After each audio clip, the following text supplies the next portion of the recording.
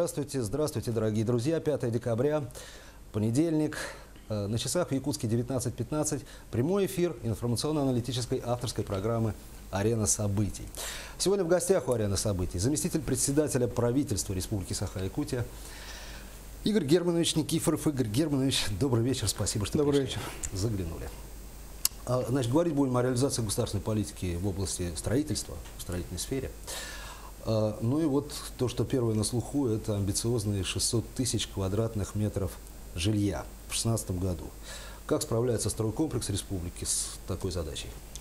Ну, да, этим уже перестали быть, наверное, амбициозными, мы смотрим уже дальше, тем более в своем послании Егор Афанасьев сказал, что этой цифре мы останавливаться не должны. А действительно, подготовка к этой цифре 16 600, а, в истории Якутии такого объема ввода жилищного строительства не было. И, соответственно, дожидаться, что они как-то само собой все это получится к концу 2016 года, мы на это не рассчитывали. Была серьезная работа проведена по всем отраслям, где мы могли видеть, что эти квадратные метры, во-первых, заинтересуются люди в их приобретении, они будут, э, значит, освоены через программы. И, э, соответственно, задача была Минстроя для того, чтобы вот эти стройки держать на контроле. Где-то нестыковки шли там по техприсоединению, какие другие работы. И вот все вот эти вещи в течение года они значит, где-то брали на себя, где-то помогали. Но и мы сегодня видим, что программа, перед этим мы подписали с каждым муниципальным образованием соглашение, Да. где были расписаны объемы, сроки, Они брали на себя какие-то обязательства? Они брали укладывались? обязательства, потому что по-другому мы не видели э, в планирования и такой требовательности к этой программе, к этим э, объемам. Э, Практически э, большинство районов это все выполнило. Есть, конечно, у нас остающие, в данном случае у нас сильно на 14 тысяч квадратных метров подвел Мринский район. Мгм. Они не ввели жилье, но неплохо справился город Якутск, неплохо отработала значит, э, Амга, Чурапча. И значит, здесь э, 600 тысяч мы к концу года уже видим. А скажите, пожалуйста, вот эм, распределение э, среди этих 600 тысяч, э, как происходит? Что в селе, что в городе? Что... 45% в среднем идет ИЖС от э, Мгм. суммы ввода в жилья. 45, в некоторые годы там ближе к 50, но соотношение цифр такое. Понятно, понятно. Ну, о программе переселения из ветхого аварийного мы поговорим э, чуть попозже. А Они тоже заложены в этих шести... Да, 600, источниками этой программы являются ряд федеральных программ, в да. том числе которых э, софинансирование ведет и республика. Это аварийный снос, это сироты, это дом для, молодо- для молодой, семей, се- да. молодой Мгм. семьи, ипотечное кредитование, которое в следующем году у нас появится первый метр квадратный уже арендного жилья. Да, да. Предыдущее послание э, э, Егора Афанасьевича Борисова, послание от 15 года. Цитата. Э, Глава республики назвал одной из проблем, которые волнуют людей в аспекте жилищного вопроса, диспропорции в темпах и качестве жилищного строительства в различных районах Якутии. Соответственно, послание предыдущего года, что-то в этом году для ликвидации этой диспропорции было ли Да, конечно, сделано? были заложены средства для того, чтобы привлечь ипотекой население сельских районов. И э, конкретно в этом году Алмаз Ренбанк получил 200 миллионов и выдал, по-моему, около 350, если не изменяет память, значит, э, кредитов. А кредиты они недорогие, долгосрочные, вот, именно на, селе. А, в том числе э, республика- республиканское ипотечное агентство наше, которое является оператором АИЖК, также получила 200 миллионов, и они э, начали работать не только в городе Якутске, начали работать в других крупных значит, городах, они, в частности, э, в Нерингре э, начали работу. Ну а по сельским территориям мы э, попытались, повторяю, в этом году привлечь Алмаз-Банк, и у нас это получилось. Угу. Ну, это если говорить о ликвидации диспропорций в темпах строительства. и а качество? в, в средствах. А по качеству, э, вы знаете, по качеству здесь ситуация вот такая. Мы э, посчитали, что, ну, например, в прошлом году было введено порядка там 420 тысяч квадратных метров, э, не, не, не только там жилья, Мгм. а значит, в том числе скулюбыта. А, в позапрошлом году. В 2015 году а, порядка 520. А, При этом в первом случае там 420 случаев некачественно, Мгм. А в другом выше где-то на 80, но когда берем коэффициент, то он понижается. Понижается, Да. конечно. При этом мы должны понимать следующее, что э, требование к качеству у людей растет. Безусловно. А если раньше мы помним, когда мы получали там квартиры, нам главное, чтобы были стены, были там двери, а дальше мы были руки, Да. все доделали. Сейчас нет. Плюс еще а, многоступенчатая а, значит, система проверок, которая идет в стадии строительства и на стадии значит, э, ввода объекта, и потом еще есть гарантийные сроки в него. Поэтому э, говорить о том, что ст- строить стали э, хуже, э, таких цифр для этого нету. А, объем строительства растет, требования растет, Мгм. информационность растет всего этого.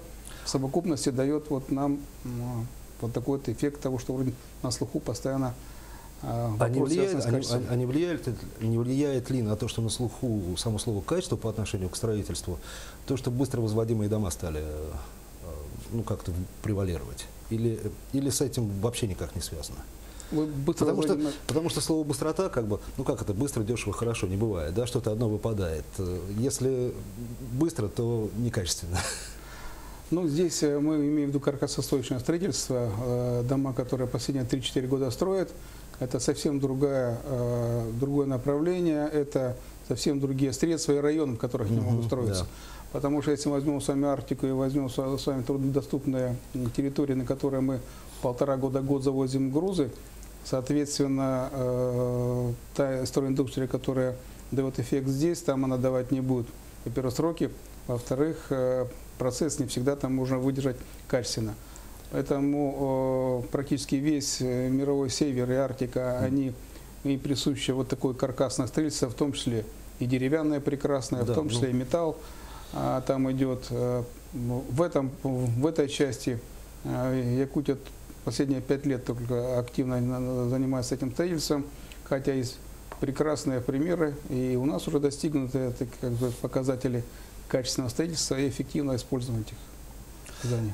Игорь Германович, э, строительная отрасль, ну, собственно говоря, как и любая другая, вы, сейчас вынуждена и должна функционировать, и хорошо функционировать в достаточно непростых условиях. Как удается эта строительная отрасли и какая поддержка со стороны государства оказывается? Ну, у нас вот э, в, среднем, строителям. в среднем 22 миллиарда – это средства, которые осваиваются строителями. Мгм. Если мы говорим поддержка, вот поддержка, есть рынок строительный, есть э, заказы, есть объемы. Ипотека та же поддержка. А ипотека та же поддержка. Значит, программы, которые приходят со средствами, та же поддержка. Мгм. В принципе, получается некий своего рода такой госзаказ может э, сложиться, когда гарантированно предприятие понимает, какой объем оно выполняет, Да. и, значит, рентабельность не ставит э, такую, чтобы потом, если завтра, завтра, послезавтра наступают трудные дни, они там что-то в себе ложили на будущее. Поэтому 22 миллиарда – серьезные деньги. Но мы говорим не о промышленном строительстве, которое отдельно ведут э, э, добывающие предприятия, э, вкладывая как вложения в реконструкцию. Мы говорим только о, о гражданском строительстве. Да. И здесь, э, наверное, те, кто умеет эффективно, качественно строить, то, конечно, получают прибыль. Кто нет, ну, нужно смотреть тогда, почему не получается и что для этого нужно сделать. Понятно. А темпы строительства, э, о которых, собственно, глава говорил и в этом послании, сохранить их необходимо. Они должны сохраниться и в 2017 году, и в 2018. Кстати говоря, выйти на уровень к 2019 году 850 тысяч квадратных метров. Это реально справимся? А, Есть цифра, так, э, говорящая о том, что порядка 70% э, населения республики, но ей год этой цифре, нуждаются в улучшении жи- жилищных условий. Значит, это не значит, что все там плохое жилье. Значит, кому-то кто- По метражу? по метражу не Да, да, совпадает, да, да, да, да. где-то с- аварийка, а, где-то э, значит ветхая. И вот та цифра, которая действительно, э, не, не просто так расписывали цифры из-за из-за красивой динамики, а из-за того, чтобы в один прекрасный момент мы дойти, должны дойти к балансу, при котором количество людей, которые проживают, численность проживающих, да, со- со- соотносилось с э, нормой проживания жилья. Другое дело, что это будет, там арендное или это Мгм. будет э, жилье муниципальное или собственное. Но вот этот вот баланс, он как раз вот в той цифре 19-20 годы а, он и выходит. А При этом э, эта цифра не фантастическая, она имеет по собой основу в части тех программ, о которых мы говорили, и перспектив, которые есть. Тоже из послания большое внимание было уделено малому и среднему предпринимательству. Э, Предприятия малого и среднего бизнеса насколько задействованы в строительной сфере? В среднем 40% работы и услуг, которые выполняются на стройке, выполняют предприятия малого и среднего бизнеса. И э, здесь, конечно, их ниша там, где есть эффективность, там, где есть э, ноу-хау, которые могут, там, где есть высокая организованность, Мобильность, наверное. мобильность совершенно верно. Вот. И, э, во-первых, заменяемость, потому что некоторые предприятия узкой направленности, а вы помните, в советский период были комплексные бригады, да? Да, Когда один да, человек конечно. мог делать разные э, операции и при этом не просиживали, не проставили. То есть мы говорим об эффективности.